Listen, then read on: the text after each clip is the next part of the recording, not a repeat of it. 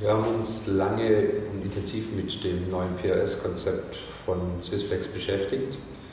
Das äh, bestehende Konzept, das bewährte Konzept, dort waren uns die Farben zu grell, das Rot war uns noch zu rot. Das heißt, wir haben ein gedeckteres, ein zeitgemäßes Rot genommen in einer Kombination mit einem modernen, verspiegelten Logo, keinen Leuchtkasten mehr, auch das war uns nicht mehr zeitgemäß genug, haben aber gleichzeitig in der Kombination mit äh, Schwarz-Weiß-Fotos, die alpenländische Schweizer Motive zeigen, es geschafft, dass der Konsument beim Betrachten das Gefühl von Innovation, von Neuheit hat und es gleichzeitig mit Tradition, mit Handwerk und mit Swissness verbindet.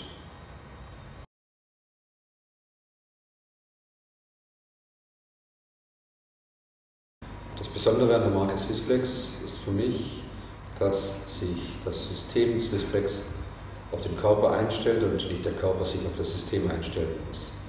Das heißt, sie liegen drauf, ob sie 60 Kilo wiegen, ob sie 100 Kilo wiegen und sie schlafen gut.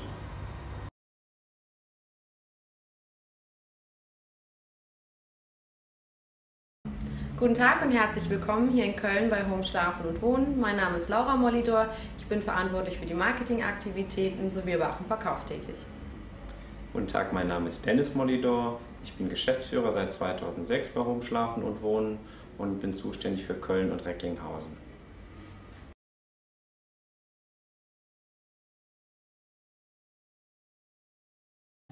Alles von A bis Z haben wir wirklich alles überholt. Es war an der Zeit, nach 17 Jahren nochmal alles zu verändern, was zu überdenken. Also wir haben von der Außenfassade, von der Außendarstellung äh, äh, den Namen, wie Sie ja richtigerweise schon gesagt haben, geändert.